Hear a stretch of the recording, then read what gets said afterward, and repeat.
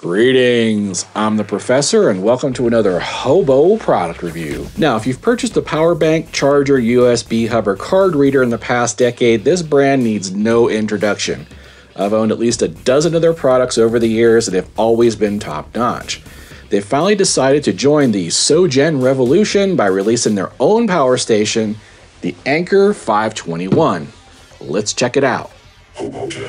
The Anker 521 sports a 256 watt hour lithium iron phosphate or LFP battery rated at 3000 cycles to 80%. In other words, 10 years. As for size and weight, I'll put those numbers at the bottom of the screen, and of course, I weighed it myself, and this was the result. As for the design, it's all ABS plastic with rubberized feet and does have a large color LCD screen that shows all the important information such as battery percent, battery level icon, input output watts, and time remaining. As for the inverter on this, it's a 200 watt pure sine with two outlets. This also sports an MPPT controller capable of 65 watts of solar charging. As for ways to charge, it does come with a 65 watt AC wall charger brick and takes about 4.1 hours. It also comes with a 12 volt car charger, which is able to charge the unit at 62 watts in about 4.1 hours. This also has the ability to charge with solar at 65 watts, again takes about 4.1 hours. It also can charge from 60 watt power delivery port. The USB-C port on this is bidirectional, so power can come out, power can go in. That takes about 4.3 hours. But it does support simultaneous charging. So if you want to charge it through the USB port at the same time you do AC charging, car charging, or solar, you can combine these two sources and charge this in as little as two and a half hours from flat. As for 12 volt output types, this only has one 12 volt cigarette lighter style socket, good for 10 amps, and it is regulated at 13.3 volts, which is odd for a lithium iron phosphate battery, but still welcome. As for USB output types, this sports one 60 watt USB C power delivery port, which means you can pull 60 watts out or push 60 watts in and two basic USB A ports. As for other features, the Anker actually has a unique power saving feature. There's a physical switch right here that you flip to what turns blue and it puts it in power saver mode. And what that does is it powers down the device after a certain amount of time under a certain load.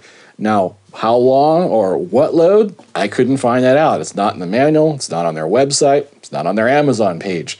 So they just say turn this mode off if you're using a CPAP machine, and I'm going to tell you go ahead and turn it off too if you're using a 12 volt fridge because you certainly don't want it powering off on you in the middle of the night. As for the warranty, Anker does provide a two year limited manufacturer's warranty on all their products. And of course, I took the Anker into my secret laboratory where I performed all kinds of crazy experiments on it, including, let's all say it together now, a double fisted. Bang, bang battery capacity test.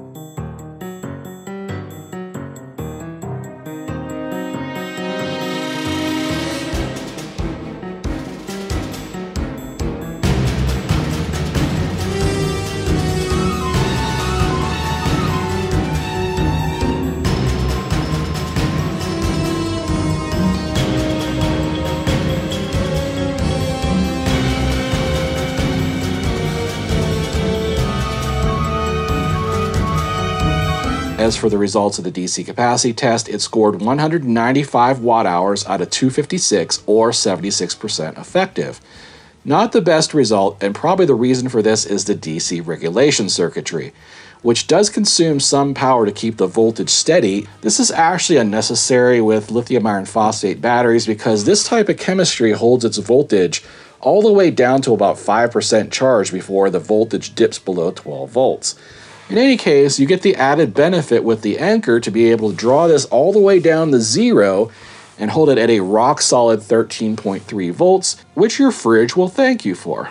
The results of the AC battery capacity test, it scored 200 watt hours out of 256 or 78% effective. While a little bit better, this isn't breaking any records, but it's also not unexpected with such a tiny high frequency inverter. The results of the max charge rate test shows that we can push 62 watts into the solar input from 12 to 31 volts. It made no difference what voltage we input, it was the same across the board within a few watts. So what about simultaneous charging? Can you charge from two DC sources at once using the port in the back and the power delivery in the front? Well, let's find out. I got the charger ready and I'll stick it in the rear. Giggity. Well, check that out. 114 watts coming in. Right now it says it'll take less than an hour to charge it from 58% to full. So yes, the Anker does support simultaneous charging. So you can charge it from power delivery and charge it from either wall outlet solar, or your car at the same time. So if you actually have a solar panel that can do 60 watts power delivery, you can plug that in the front and then plug a second solar panel into the back that can do another 60 watts, and you can hit pretty close to 120 watts of charging with this. That's pretty impressive for something this size. You gotta remember, this is around the same size as a Jackery 240, and it's charging at around 120 watts. As for the fan noise while charging, there was none. No matter how much power I pumped into this, it never made a sound. So it is absolutely silent when charging. As for the DC output rate check, where we test how much power we can pull out of the 12 volts, Anker claims it can handle 10 amps from its 12 volt output. So I have it set to 10 amps. You see at the top where it says CC, that's constant current. Go ahead and turn it on. You see the bling lights come on, and it is now pumping out 10 amps at approximately 117, 118 watts. Okay, I turned it up to 11. What we do is if we need that extra push over the cliff, you know what we do? Uh, put it up to 11. 11, exactly. Okay, 128 watts, 11 amps. It's holding 11.8 volts, which is still very good at maximum load. Let's try 11 and a half. Nope, so there's the result. The single 12 volt output on this can supply 11 amps. So this will have no problems at all running a portable 12 volt fridge or any other 12 volt appliance. Pure sine wave check under load. Under a load of about 100 watts, you can see the inverter is outputting 111 volts at 60 hertz. The sine wave looks decently good. Now for this next test, we're going to go ahead and push the inverter to its limit and see what it can do. Now the wattage on this is really, really tiny. It's right there, this number here that says 40. That's the number of watts going out right now. So that's the number we're watching. We're not watching the big 94%. That's the battery. Okay, there we are at 200 watts. Doesn't seem to be any problem there. But 220, I completely lost power, but I didn't hear a beep or anything, so that was interesting. Okay, let's try that again. We're at 215. Yep, right around 215 it conks out. So that's no incredible surprise. 215 watts out of a 200 watt inverter. For this next test, we're going to do the 5 minute sustained cooling, or what I call the heat soak test. We're going to run the inverter at its 200 watt limit for at least 5 minutes to make sure that it doesn't overheat. All right, there we are at 200 watts. We're going to go ahead and start the timer and see can we make it 5 minutes. And there we go, we just passed the five minute mark. I am getting quite the inverter noise coming from this little unit. It took several minutes for that fan to really kick on high. I heard it kick on low, and now it's on high. Now, the test is gonna be, can I capture this? Because I have to turn the Bluetti off, but the Bluetti's making way too much noise. And then the charger's making way too much noise. 58 decibels you can really hear that fan going. But then again, I was pushing it to its limit for five minutes. And there it goes, it kicks back on low, which is a lot quieter. Now, what about pass through charging? Can you charge it while you use it? Sometimes these small models don't support that. I do have it plugged in in the back, so we are charging from AC wall outlet at 62 watts. And I do have a DC source plugged in here. So here we go. We're going to plug my cell phone in first, the power delivery, to make sure that's still working that ding means it is. It's charging my cell phone. Now, what about AC power? Came on, so we got AC power. Now, what about DC power?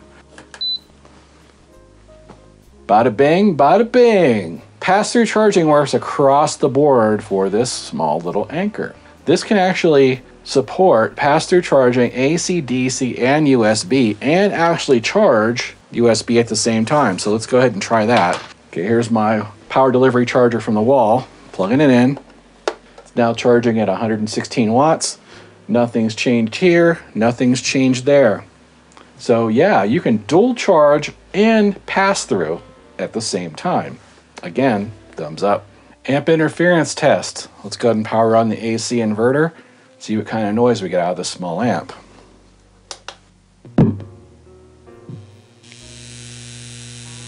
So unfortunately we are getting some interference and just to show you that it is the inverter and not something else in the room,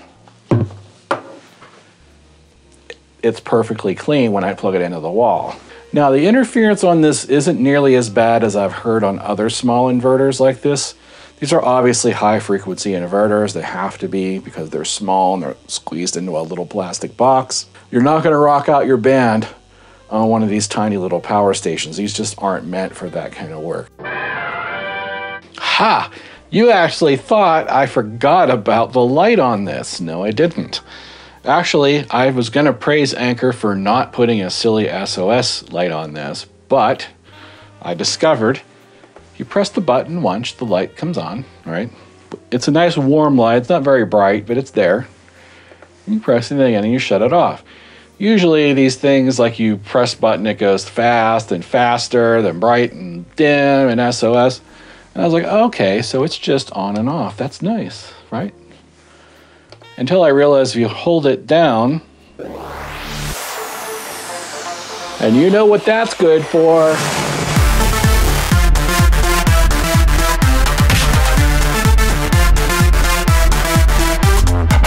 So what do I like about the Anker 521? The Anker, as you can see, is actually a pretty sexy product from a pretty sexy brand. I'm glad to see some of the heavy hitters in the industry joining the SoGen revolution. Now, while this Anker won't power many kitchen appliances, won't run your furnace, your residential refrigerator, or your air conditioner, it can power typical devices like 12 volt fridges, laptops, cameras, modems, routers, hotspots during a blackout. It can handle CPAP machines and charge your MacBook, tablets, and most other USB C devices from the 60 watt power delivery port. The battery will far outlast most others on the market, and the lantern style light is warm and useful. So, what don't I like about the Anker 521? While I appreciate the dual charging ability of this device, I really would have liked to see it with 100 watt solar charging built in as well as a 100 watt power delivery port. I'm also, frankly, shocked they didn't include any USB quick charge ports, just the basic old school 5 volt ports.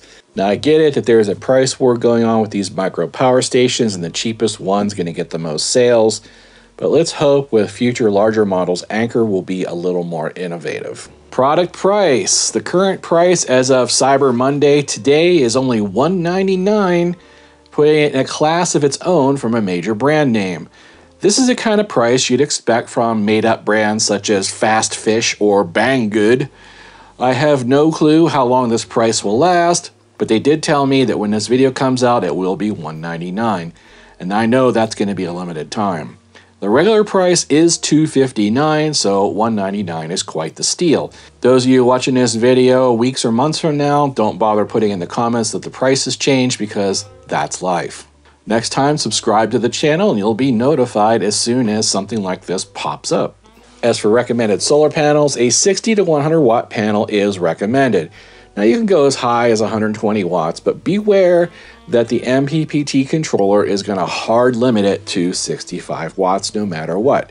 And you can't exceed that 31 volts either.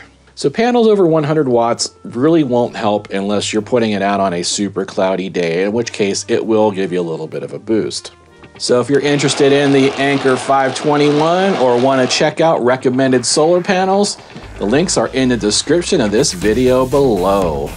Thanks for watching. If you learned something today, don't forget to give me that thumbs up below. And if you're not a subscriber already, you know what to do. That's it for now. Till next time. Odin commands you to like and subscribe. And clean my litter box. Now I've been wondering, why does Anker call this the 521 when it has a 200 watt inverter and a 256 watt hour battery? Since it's small and cute like a little puppy, they should have called it the Biter. Then it would have been the Anker Biter. Get it? Hey, if you can do better than that, leave it in the comments. RV Golf Guy, Medic Audio Repair, Andrew Vaughn, Roger Cardano, Brian Bloopers, John Station Soroka.